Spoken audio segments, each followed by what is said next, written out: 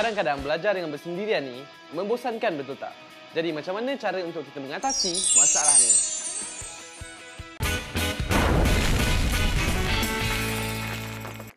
Alah, senang je lah. Kita belajarlah secara berkumpulan. Hmm.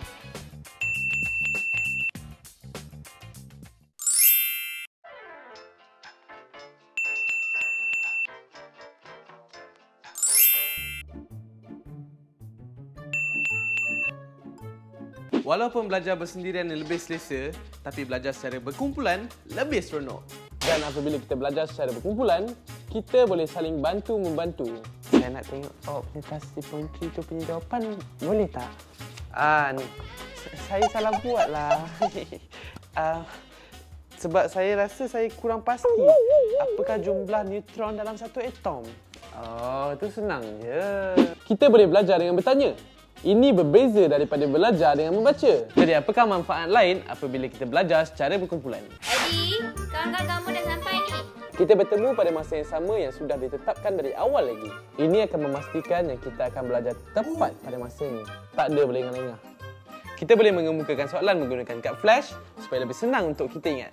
Kita boleh berkongsi dan membandingkan nota kita sambil memperbaiki kemahiran sosial kita.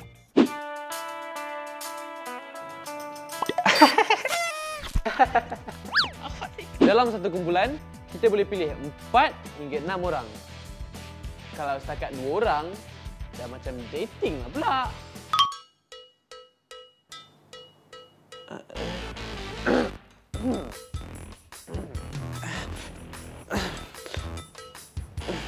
Pastikan anggota kumpulan orang yang sekepala dengan kita dan yang betul-betul minat untuk belajar. Kalau tak minat tu, payahlah.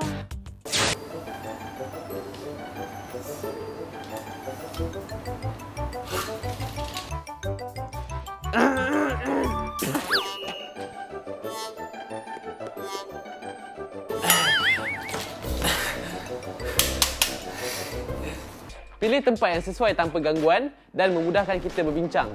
Seperti rumah ataupun bilik perbincangan dalam perpustakaan awam.